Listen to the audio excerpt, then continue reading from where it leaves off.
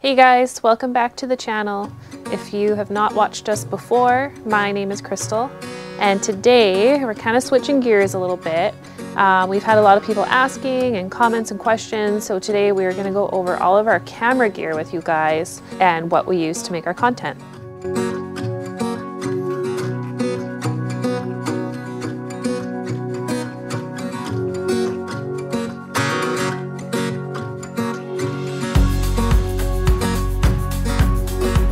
This is the mother lode of our camera gear right here.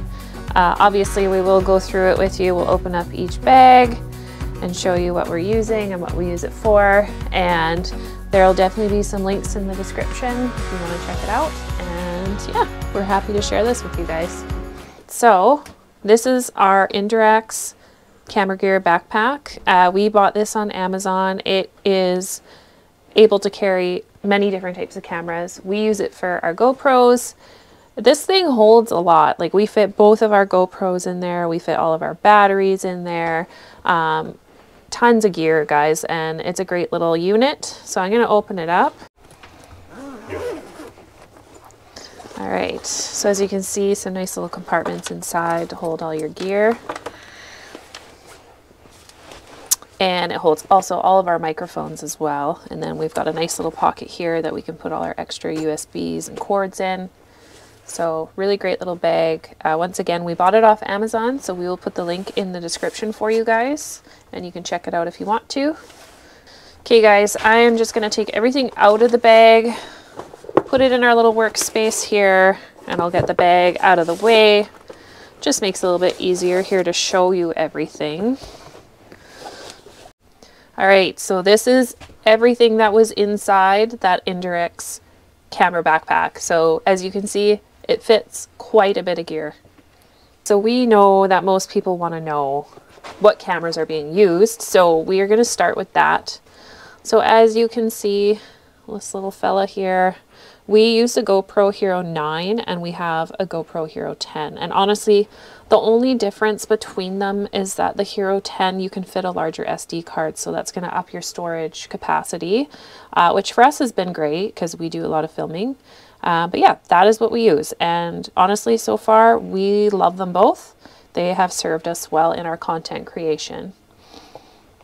This is our media mod, and we use it to attach our power and as well as all our outside microphones. And we love it. It works well for us.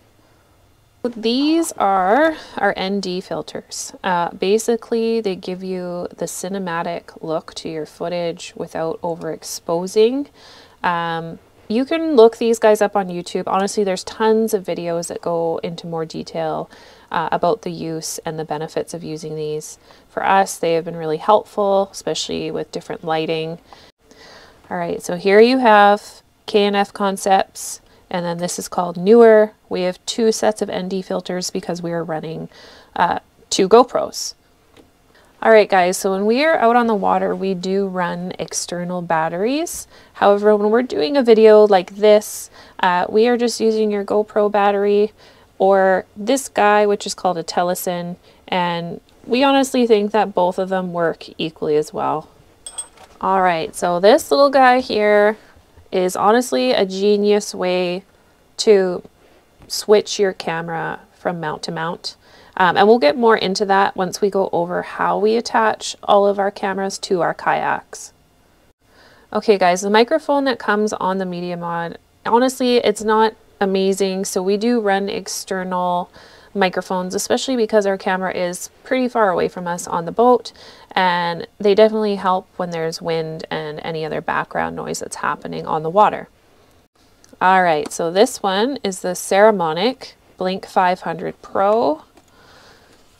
And then we also run this one as well, which is the Synco G2. The Saramonic is my microphone and the Synco G2 is what Kyle uses. And we both really love both of them. They both work really well. The only difference that we've noticed is the Saramonic uh, doesn't have as much battery life. And this guy, the only downside is just that this little screen here can be a little bit difficult to see out on the water, especially with the sun. So the nice thing about this unit is that it does come with your cord to connect to your receiver as well as your lav mic, whereas this one, you have to buy everything separately. So something to consider as well. All right, so this is our little secret here. Uh, shout out to Hui Fishing for telling Kyle that he should do this. Uh, we use silicone earplugs, believe it or not, to just make everything watertight on the GoPro. So we cover up all the little ports after everything's plugged in and wrap it all around anywhere water can get in there to make it as watertight as possible. So when you use a media mod, guys, on your GoPro, it's actually not waterproof anymore. So we are taking a risk by using it, but that is why we do everything we can with these little guys to ensure that it's as waterproof as we can make it. All right, guys, so that is everything that is GoPro related. And now we're gonna talk about mounting the camera gear to the boats and what we use for that. All right, guys, so this is the setup we use to get all of our really cool underwater footage. Uh, we use the Smatree selfie stick there along with the GoPro waterproof housing. So the GoPro is technically waterproof, but because we are going in the salt water, it can be such a pain to clean afterwards. So we just do this. It makes it a heck of a lot easier. And that's how we get the cool underwater footage for you guys. So this is our little mini tripod. It's the Ulanzi MT33. The one thing that we really love about this one is that it's got these really cool flexible legs. So you can wrap it around whatever you want and it, it's really nice if you're trying to get like a specific camera angle. You can hang it from a tree, you can hang it from whatever you want to do. Um, so yeah, it's a really cool little thing here and we use it quite a bit. And this guy is the Ulanzi Quick Claw on top here. You just pop it in and then you slide it over to lock it and that guy is not going anywhere like that's in there for sure. And then you just pop back over and push the button to release. And honestly, this is such a great tool for us because it makes it super easy to switch up our cameras between different things. So if we want to use the selfie stick or the boom stick, um, just a quick pop of a button and we can switch our camera to whatever um, tool we need to use it on. So it works really well. Definitely love this little guy here. All right, so these are Yak Attack Panfish Pros, and this is the boom stick. And this is what we use to mount the cameras to our kayaks. So once again, we have the Ulanzi Quick Claw up there and it just makes it super easy to switch our camera around. And once it's in there and you lock it, it's not going anywhere. So feels good to know that it's locked in place. One thing that we love about this guy is that once it's on there, it is not going anywhere. It's super secure and it is locked in place. And we also love the variety of positions that you can do. So the nice thing guys is if you want to change your position, you just pop that little button, but it's still actually locked in place. But you have the ability to maneuver it around and then you just push down to lock it back in the spot that you want. The other really nice thing guys is this ball connector here. Makes it really easy to fine tune whatever camera position or angle that you're trying to achieve. So really adaptable altogether and we're really happy with it. All right guys, so this is the boomstick in comparison to the Panfish Pro. And you can see how much longer it is.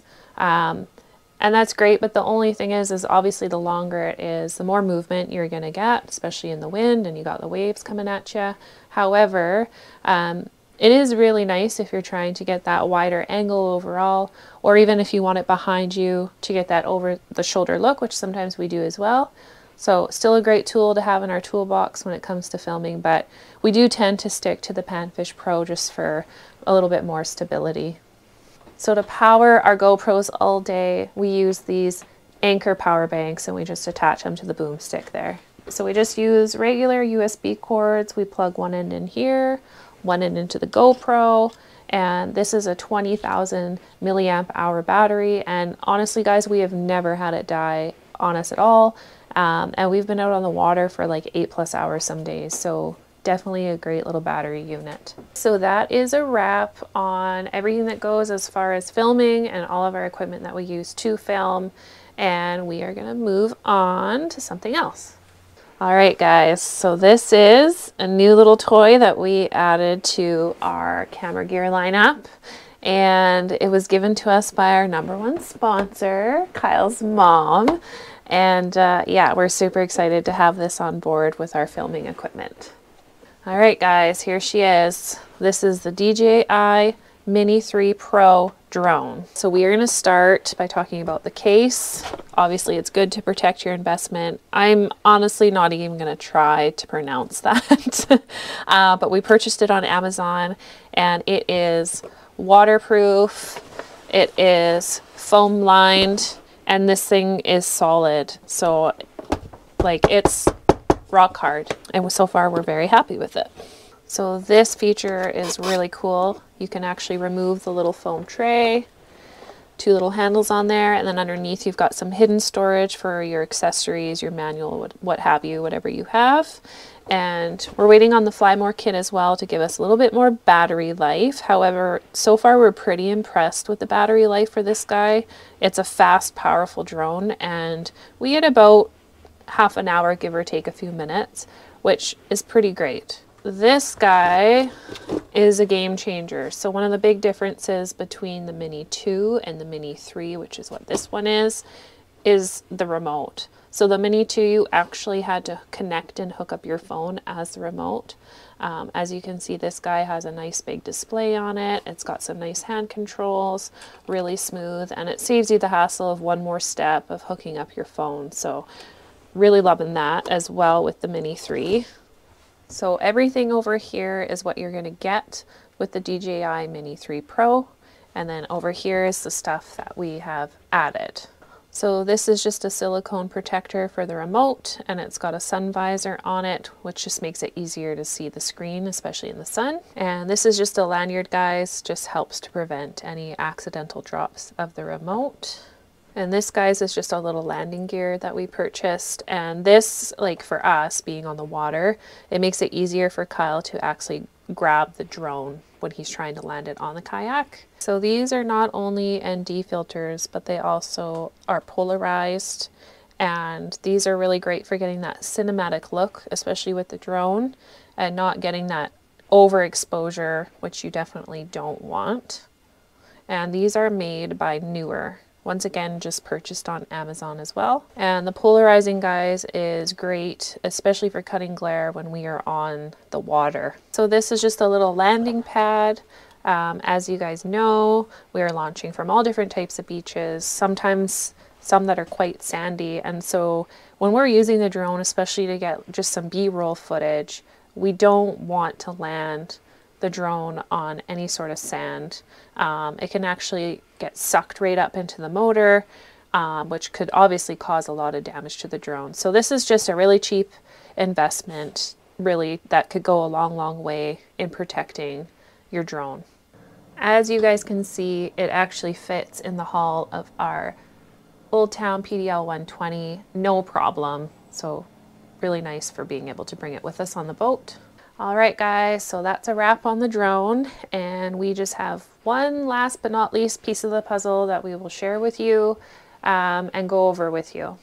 All right, guys, last but not least, we have Kyle's baby here, his laptop. It is the HP Omen 16, and this is where all the magic happens. We do all the editing of our video footage on this, and it's actually a gaming laptop but it has been phenomenal for editing all of our footage.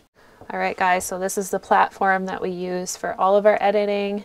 It is called Wondershare Filmora 12. And so far, we really love this program. It's not overly complicated and it's easy to use, which is the main thing. Um, and so, so far we haven't had any issues with the Filmora.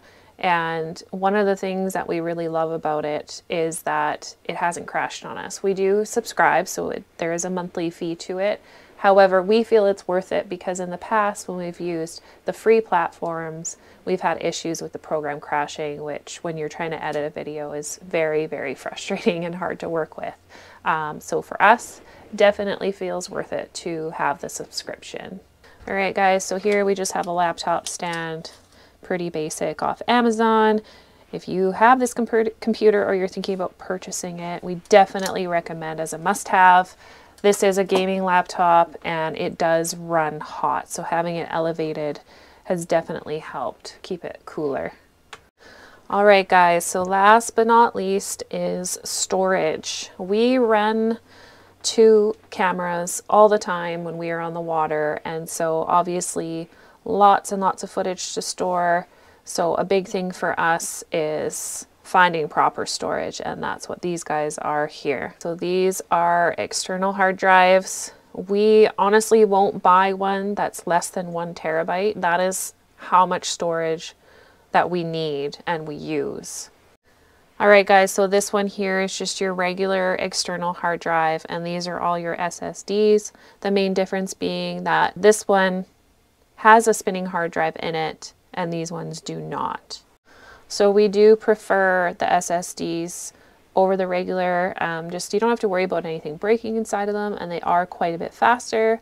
However, we also don't mind using these guys. We have quite a bit of storage on them as well. So obviously we're not too picky about which brand we're using. We've got Samsung, we've got SanDisk. Um, basically we just buy whatever's on sale and has the most amount of storage because storage is the number one priority, but SanDisk and Samsung have both served us well. All right, guys, that's a wrap.